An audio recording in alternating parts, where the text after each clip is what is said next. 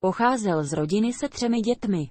Otec Ladislav, 1865 až 1922, byl vyučený krejčí, spolu se svou manželkou Marií, 1863 až 1899. Však vedli malé hokinářství s mandlem. František Smolík chodil do měšťanky a později se vyučil elektrotechnikem. Od mládí miloval loutkové divadlo. Z rodiči navštěvoval občas i pražská divadla, Pištěkovo divadlo, arénu, Uranii i Národní divadlo. Krátce navštěvoval soukromou školu Karla Žilenského. 1908. Sám začínal hrát již před první světovou válkou v různých kočovných a venkovských hereckých společnostech. Faltisova div.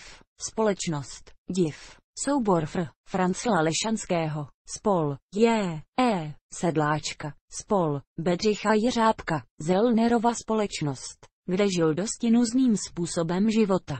Od roku 1914 působil na scéně Smíchovského intimního, Švandova, divadla a Smíchovské arény. Po první světové válce, kdy bojoval v řadách rakouské armády v Rusku a v Itálii, hrál opět ve Švandově divadle, v pražské Uranii a v sezóně 1921-1922 v divadelním souboru Revoluční scéna E.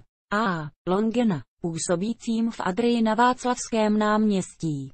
V roce 1921 jej angažoval nově jmenovaný umělecký šéf Jaroslav Kvapil do činohry městského divadla na Královských Vinohradech, kde působil až do roku 1934, odkud pak přešel hrát na naši první scénu do Národního divadla, kde působil až do roku 1965.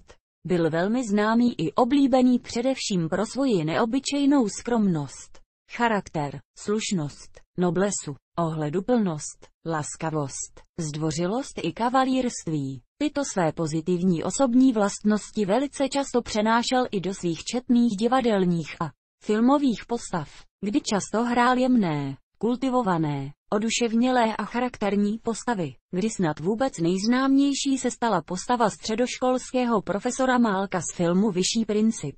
1960. Na divadelních scénách vytvořil přes 600 postav. Mnohé z nich opakovaně. Od roku 1924 spolupracoval také s rozhlasem. Např. Role Galéna v Čapkově Bílé nemoci. Jeho manželka Milada Smolíková, Ros, Ortová, se kterou se oženil v roce 1920. Byla také herečka. Působila v činohře Vinohradského divadla v letech 1928 až 1934 a v Národním divadle od roku 1934 do roku 1960.